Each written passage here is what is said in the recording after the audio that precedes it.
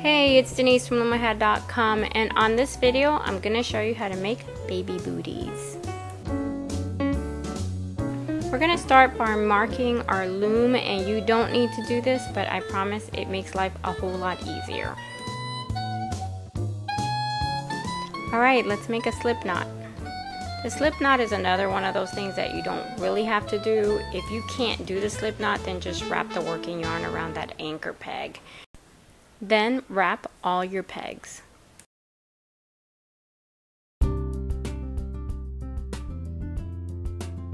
When you're done wrapping the 12 pegs, now we're going to start with the U-wrap knit stitch and it's basically you're going to half wrap the peg and then with your hook you're going to take that bottom loop over the top and knit off now you're going to do this for all 12 pegs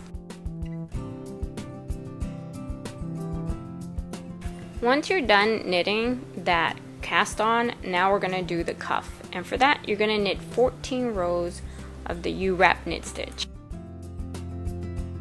after a few rows don't forget to take that slip knot off your anchor peg now it's time to fold up the cuff. Turn the loom over to find that first row of knitting. It's those loose loops and this uh, slip knot. Push that bottom to the top.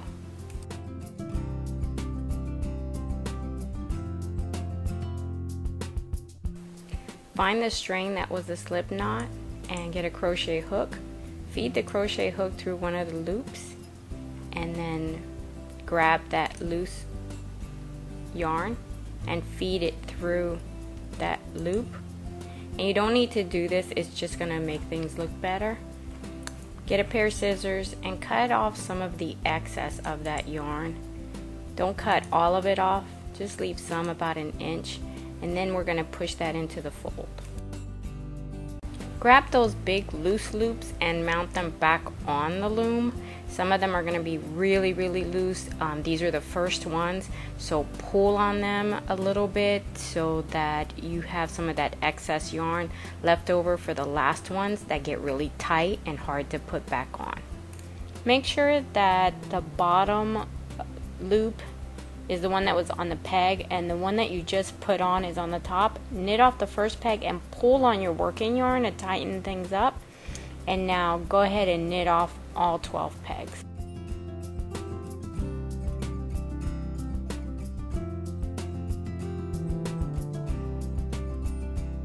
The next step is to knit four more rows of the U-wrap knit stitch to create the ankle and then we're going to move on to knitting flat in order to create the heel and we're only going to use six pegs. So let's start by knitting five of those six pegs.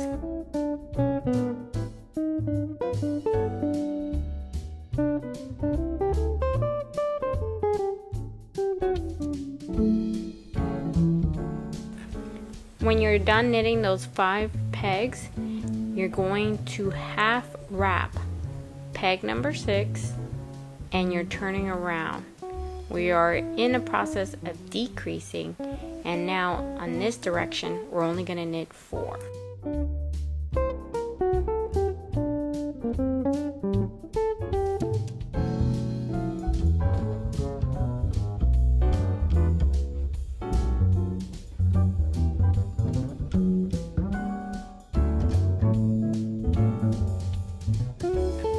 Now you're back at the beginning you're gonna half wrap that very first peg which is peg number one and now we're heading in the opposite direction and we're only gonna knit three pegs.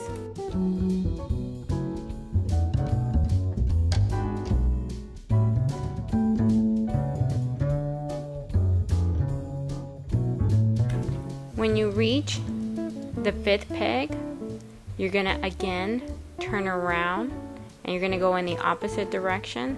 Number 6 already has a wrap, so you're putting a wrap on peg number 5 and now you're going to knit only two pegs.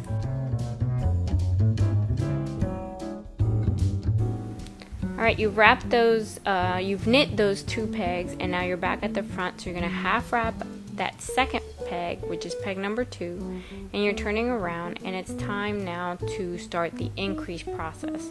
So now you have two loops on the first two and two loops on the last two.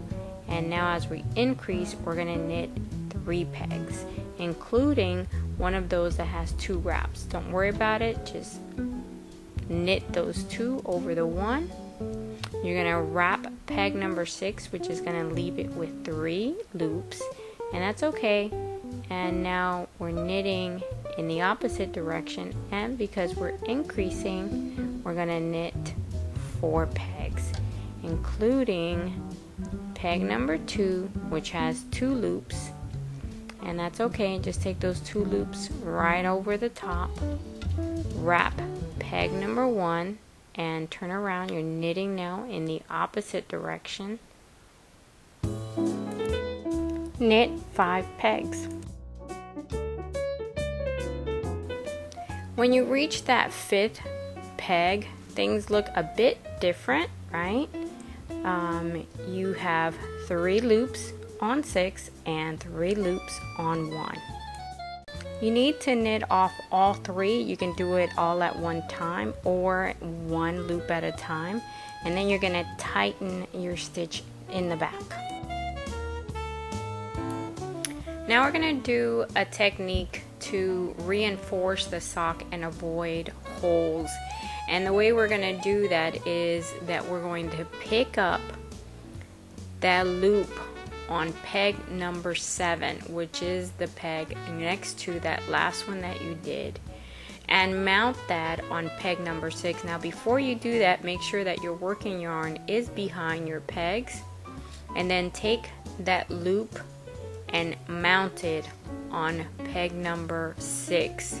You have two loops on it now and you're going to wrap your working yarn around peg number seven which is where you just picked up that other loop from and then take those two loops on six and knit them over and now you're going to start knitting in the opposite direction you're going to knit six pegs which included uh, peg number six so now we're on the other end. Now we're on the front of the loop and we on the loom and we are going to repeat this procedure. We're going to knit off those three loops on peg one and find that loop that is on the peg next to it which is peg 12 and you're going to pick up that loop.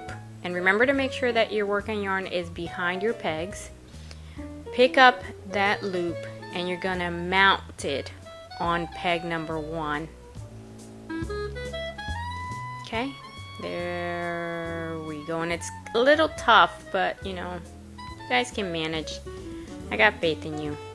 Alright, now you have two loops. Now you're going to half wrap peg number 12 and you're heading now in the opposite direction. And at this point, you're going to knit all 12 pegs. So you're knitting in the round and you're going to knit the whole loom.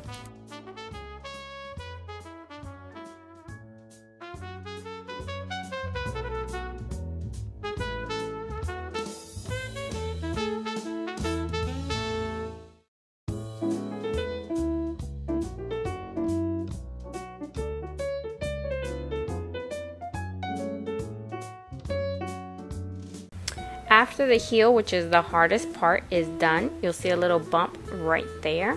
And if you turn the loom around, you'll see the cuff. And over the cuff, you'll see that little bump on the heel. And now it's time to move on to your foot slash toe. And to do this, you will need to knit 10 rows of the U-wrap knit stitch.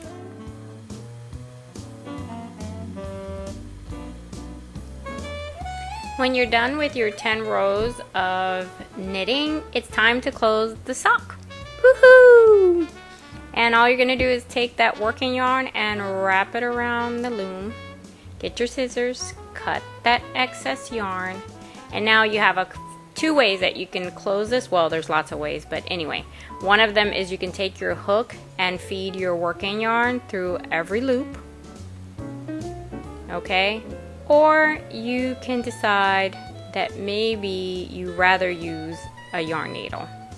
And in that case, take your needle and thread it with that working yarn And then you're gonna do the same thing. You're gonna feed your yarn, but you're gonna do it from the bottom. You're feeding your yarn upward with your needle until you have done this with every peg. Use your hook to get the loops off of the loom. Pull the working yarn to close the hole and stretch out the stitches. Feed the needle through the little hole and turn your uh, sock inside out. Now you're going to sew in a circular direction.